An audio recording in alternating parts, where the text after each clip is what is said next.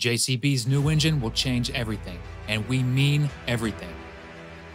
It's a new dawn in the world of heavy machines and vehicles, and JCB is currently leading that charge. The automaker has started working on a hydrogen engine for its tractors and heavy machinery. The question that follows now is will this engine actually work? Will it change the industry like it's supposed to? Join us on this video to learn more about this engine and answer all your questions. JCB, one of the leading agricultural engine makers, has pulled off something truly impressive. They have managed to convert their conventional engines to run on compressed hydrogen, which means zero carbon emissions. And the best part, it doesn't affect the engine's performance at all. Imagine a gas fired 4 cylinder 4.8 liter engine that generates the same power and torque as a Diesel Max 448. That's exactly what JCB has accomplished. And here's the icing on the cake the modified engine won't cost any more than the original, and it can even be retrofitted into existing machines with a little bit of tinkering. Although it's still in the development stage, JCB is making great progress. They're aiming to have the engine ready for pre production by the end of 2023. That's quite impressive, considering it took just two and a half years for a team of 100 engineers to bring this project to life. It's exciting to see how JCB is pushing the boundaries of engine technology and taking significant steps toward reducing carbon emissions in the agricultural sector. Their innovative approach is definitely something to keep an eye on. But it is important that you know that the journey of transitioning farm machinery away from diesel is far from a walk in the park. It's like a tug of war between the big players in the market, each with their own unique approach. So, check this out. John Deere is going all in on electric powertrains, while New Holland is putting their faith in biomethane combustion, which means that JCB is out there, doing their thing as a lone ranger, taking a different path altogether. They're navigating this challenging terrain on their own terms. It's like they've got a secret weapon up their sleeve. According to JCB chairman Lord Anthony Bamford, sticking with combustion engines is a no brainer when it comes to delivering the high power and torque needed for agricultural applications. Plus, they have loads of knowledge and experience with these engines, from pistons to crankshafts, and so do their loyal dealers and customers who've been tinkering with them for ages. But here's the exciting part JCB believes that hydrogen powered engines won't break the bank. They can leverage existing components and production facilities, which means the cost won't be any different from what we're used to. So there's no need to worry about the price shooting up. To have a better understanding of JCB's effort in cutting carbon emissions, you need a bit of background information. The company's Power Systems division has been hard at work since 2004, tirelessly working on reducing nitrous oxides and those pesky particulate tailpipe emissions. It hasn't been cheap though. Just the transition from stage 4 to stage 5 limits alone has cost them a hefty 100 million pounds. So let's talk about how the engine of JCB's innovative prototype 3CX backhoe works. It's quite fascinating. JCB has actually managed to maintain much of the standard combustion engine design, which is pretty impressive. The bottom half of the engine, including the sump and the four cylinders with a capacity of 1.2 liters each, remains identical to the existing Diesel Max engine. They have also kept the same cooling pack and service points, and the engine still relies on a conventional variable geometry turbocharger. However, there have been some significant changes in other areas.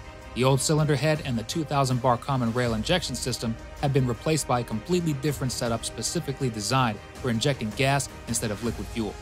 To ignite the fuel, the engine utilizes spark plugs. The fuel itself comes from five storage vessels made of a combination of aluminum and carbon fiber, each weighing around 1 kilogram. These storage vessels are located on the JCB 3CX backhoe prototype. The fuel is then fed to four injectors mounted on a pressurized rail. Now, this part is still a work in progress, as it requires laser like precision to achieve a consistent mixture of light hydrogen and heavy air. This precise mix is crucial for ensuring a consistent power output. It all happens within a remarkable time frame of just 72 milliseconds between fuel injection and combustion. The timing of the spark is a crucial factor in engine performance. If it's too early, you'll experience knocking, which is definitely not good for the engine's longevity. On the other hand, if the spark happens too late, the fuel won't burn efficiently or completely. Now let's talk about hydrogen combustion. Back in the day, BMW and Ford made some attempts with their Hydrogen 7 Series and Tiny research vehicle, respectively. However, JCB believes they found a solution to one of the major challenges in hydrogen combustion. They've managed to create an incredibly lean mix of 1% hydrogen and 99% air. This fuel light blend addresses the issue of high temperatures that leads to excessive nitrogen oxide emissions. By keeping the temperature down, they minimize the need for a selective catalytic reduction module to clean up those emissions. The best part is that this process doesn't produce any carbon dioxide. Instead, the main byproduct is water, which needs to be effectively removed through the exhaust system. To ensure everything runs smoothly, owners will likely need to use specialized engine oil.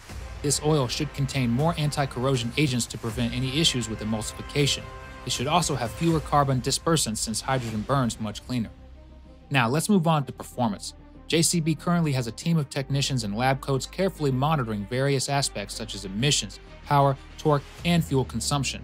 They're also investigating how factors like cold weather and altitude influence these parameters.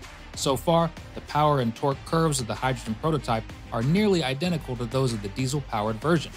When we had the chance to see the first prototype in action at 1500 RPM, it was difficult to tell it apart from a regular diesel engine. The only noticeable difference was a slightly softer engine note, dominated by the turbo resembling that of a petrol engine. But now, there is a catch. The production of hydrogen fuel is still limited. It only accounts for about 5% of the world's energy supply, and half of that is what we call gray hydrogen. Gray hydrogen is produced from natural gas, and the process of making it creates a lot of carbon emissions. Not great for the environment. But don't worry, the government has a plan. They want to phase out gray hydrogen in favor of green hydrogen. Green hydrogen is produced by using excess electricity from offshore wind or solar farms to split water into hydrogen and oxygen atoms. Currently, green hydrogen only makes up about 4% of the supply, but there's a lot of potential to increase that. In fact, wind farms are paid millions of pounds a day to switch off their turbines when there's more energy being produced than needed. The UK government recently announced its hydrogen strategy, which aims to have hydrogen account for 20 to 35% of the UK's energy consumption by 2050. Exciting stuff, right? However, it's worth noting that using electricity as a power source is still more efficient than using hydrogen. Hydrogen combustion is only about 20 to 25% efficient, while hydrogen fuel cells can reach 25 to 30% efficiency, and electricity can be as high as 80 to 85% efficient. So, in theory, you could power four electric vehicles with the same amount of energy it takes to power one hydrogen combustion engine. But companies like JCB are working on solutions. They envision a supply chain similar to diesel, with mobile gas trailers delivering hydrogen to rural locations. To store and use the gas, farm businesses would need a refueling station with the necessary equipment. The process of refueling a machine would take less than 10 minutes. Some landowners might even consider having an on site solar farm to produce the electricity needed for hydrogen production. It's an interesting alternative for those looking to be more self sufficient. Now, you're probably wondering when you can get your hands on one of these hydrogen powered engines. JCB plans to start pre production by the end of next year and gradually introduce the engines into their agricultural and construction ranges. However, the number of engines they produce will depend on the availability of hydrogen supply and the development of supporting infrastructure. So there you have it. Hydrogen fuel is an exciting prospect, but there are still some hurdles to overcome, like reducing the cost of hydrogen and improving infrastructure. It's all part of the journey toward a more sustainable and economic future.